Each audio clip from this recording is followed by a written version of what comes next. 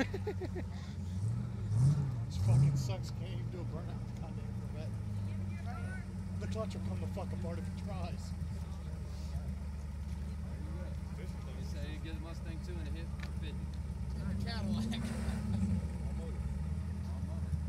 yeah, come on now. Why aren't they racing? Why don't they want to race? Because Roger's car is too fast, fast for the Coyote car, I guess.